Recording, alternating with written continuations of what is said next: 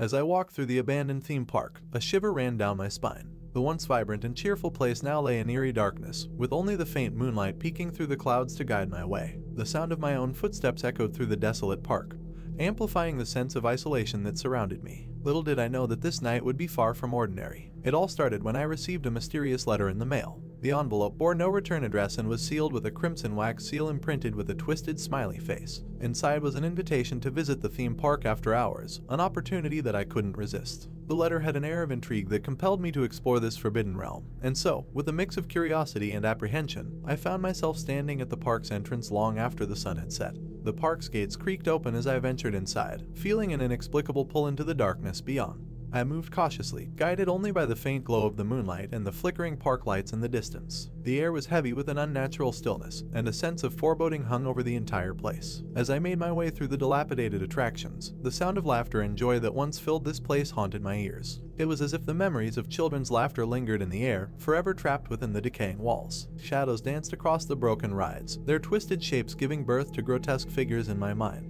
Suddenly, a low growl reverberated through the silence, causing the hairs on the back of my neck to stand on end. I froze in place, straining to locate the source of the ominous sound. But there was nothing. The park remained as empty as it had been since I arrived, or so I thought. An unnerving sense of being watched washed over me, and I quickened my pace, desperate to escape the creeping dread. Yet, no matter how fast I ran, it felt as though I was running in circles, trapped in an eternal maze of horrors. Panic consumed me as the minutes turned into hours, and the park seemed to stretch endlessly before me. Just as I was about to succumb to despair, a pair of glowing eyes emerged from the darkness. A creature, tall and hunched, stepped into the dim light, revealing its nightmarish form. Its skeletal frame was covered in tattered rags, its elongated limbs ending in sharp, claw-like fingers. Its face, devoid of any humanity, bore a twisted smile that sent chills down my spine. I stumbled backward, desperately searching for an escape route, but there was none. The creature, with an inhuman agility, closed the distance between us in a matter of seconds. Its eyes locked onto mine, gleaming with an insatiable hunger. A guttural growl escaped its grotesque mouth, revealing rows of razor-sharp teeth. Fear rooted me to the spot as the creature lunged towards me, its claws slicing through the air. I closed my eyes, bracing for the impact that would seal my fate.